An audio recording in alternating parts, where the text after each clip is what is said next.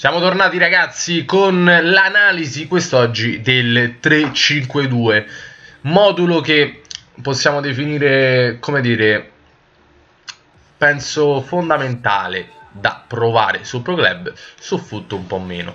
352 ovviamente sottintesa anche il fatto che analizzeremo tutti i moduli con la difesa a 3, quindi io direi quest'oggi moduli con la difesa a 3.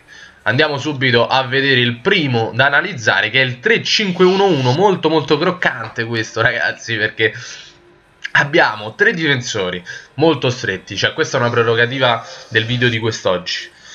Tre difensori stretti, cioè quindi so, non sono terzini CD e CS, sono difensori centrali un po' più larghi rispetto al DC. Poi abbiamo un CDS e un CDD che sono due mediani a casa mia abbiamo un trequartista in più due esterni che fanno da tornanti. Quindi nell'ipotesi che si eh, giochi in fase di non possesso fanno i terzini aggiunti. Cioè quindi tornano indietro ragazzi.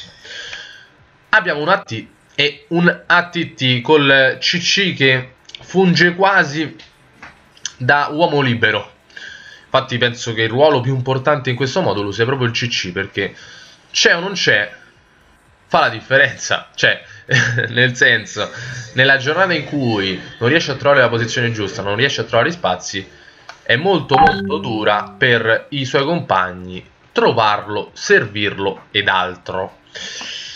Per quanto riguarda Latti, io mi sento di dire che essendoci anche il CC che funge da COC può fare direttamente comunque una eh, punta anche lui un po' più bassina che si muove di più però io la, l'atti lo vedrei un po' più avanzato. Comunque questo è un modulo che secondo me si può provare ma ce ne sono dei migliori con la difesa a 3 andiamo ad analizzare il secondo della giornata che è il 3 4 2 1 allora questo è un modulo che è stato tra virgolette spammato sul Pro Club a pressione se non erro a FIFA 18 anche a FIFA 17 se non erro e perché? Perché si lanciava molto sull'ATD e l'ATS e non solo le SLD facevano comunque giocatori molto avanzati, praticamente si attaccava in 8 e si difendeva in 8. Era un modulo eh, che fungeva tantissimo e forse quest'anno è tornato. I due mediani sono mediani veri e propri, gli esterni tagliano il campo, l'ATD e l'ATS fungono un po' da, da collante con l'ATT perché si allargano e stringono il campo in continuazione. È un modulo flessibile anche se non sembra così con l'immagine statica. Eh, ruoli più importanti secondo me eh, esterni e il DC perché il DC in questo caso soprattutto in questo FIFA può servire gli esterni e non solo, può servire l'ATD, l'ATS in profondità, può servire tranquillamente i mediani, fare 1-2 e lancio. Quindi il ruolo più importante per me è il DC e questo secondo me è molto valido, molto offensivo ragazzi, eh? quindi bisogna avere abilità nel gioco, nel possesso perché quando si perde palla Beh, è molto pericoloso per eh, la squadra e si potrebbe subire gol facilmente. Andiamo ad analizzare il prossimo che è il 3412, eccolo lì. Questo è un modulo che mi piace tantissimo perché è un, uh, un mix tra un 4-4-2 e un 4-3 con la difesa 3. Cioè è un, uno spettacolo, è bellissimo da vedere e da analizzare. La difesa è sempre quella a 3, sempre stretti, compatti per il resto abbiamo un centrocampo che assomiglia molto a un 4-4-2 semplice, quindi un esterno, l'altro esterno dall'altra parte e i due mediani. Poi abbiamo un trequartista e due punte, quindi è molto variegato. Ripeto, questa eh, unione tra il 4-4-2 e il 4-3-3 con la difesa a 3 lo rende unico. Eh, non nascondo che potrebbe essere una possibilità di modulo per la nostra squadra. Qui ovviamente il ruolo più principale, più importante per me è quello degli esterni, perché si fanno veramente tutta la fascia e eh, se non sono in giornata loro questo modulo potete anche accantonarlo, comunque consigliato. Andiamo ad analizzare il prossimo che è il 3142 questo è un'altra eh, impostazione di modulo papabile per noi lo dico francamente perché qua abbiamo due punte vere non statiche, si muovono e abbiamo un mediano fisso davanti ai tre difensori, quindi ecco, abbiamo come una difesa a 3 più un difensore aggiunto.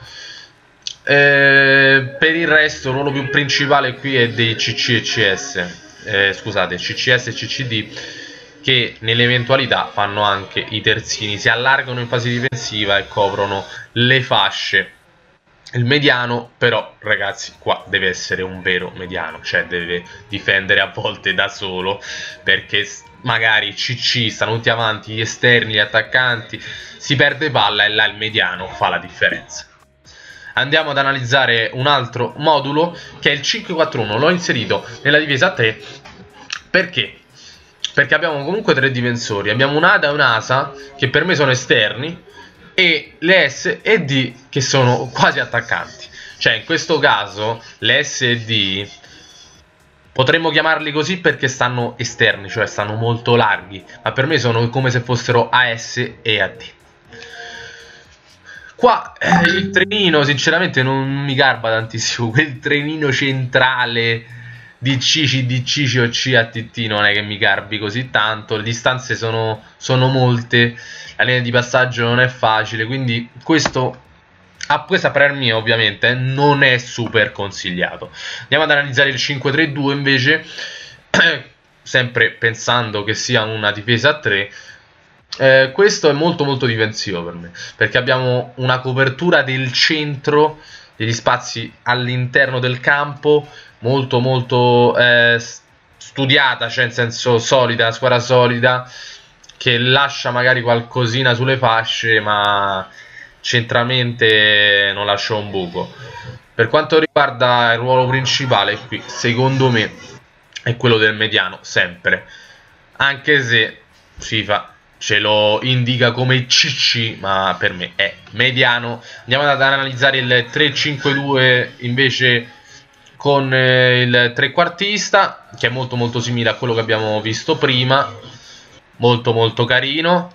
Abbiamo il 3-4-3 poi a rombo. Il 3-4-3 a rombo. Ragazzi questo secondo me è sconsigliato a prescindere cioè vedendolo così su foot non si può proprio utilizzare cioè è veramente una pazzia giocare con questo modulo seppur magari si abbia un gran possesso palla pochi passaggi sbagliati di percentuale ma ripeto anche su Pro Club poca roba. A me non piace quel trenino cioè nel senso quell'asse centrale che è uno scheletro effettivo della squadra ma mi sembra un po' come dire azzardato sulle distanze soprattutto sulla linea di passaggio per quanto riguarda invece il modulo che andiamo ad analizzare quest'oggi eh, finale, ultimo, è il 3-4-3 in linea. Ah, questo invece secondo me ha una logica differente, una logica migliore perché abbiamo degli esterni e degli attaccanti. Io però ovviamente questo lo avvicinerei molto al 3-4-3 con gli atti di ATS, molto simile, il concetto è pressoché uguale. I ruoli più importanti qua per me sono invece gli attaccanti perché devono muoversi destra, sinistra, dentro, fuori, non devono dare punti di riferimento. Anche per quest'oggi ragazzi abbiamo terminato il terzo video dei moduli è andato a buon fine spero che vi siate comunque divertiti barra interessati a questa miniserie. Domani uscirà l'ultimo video. A domani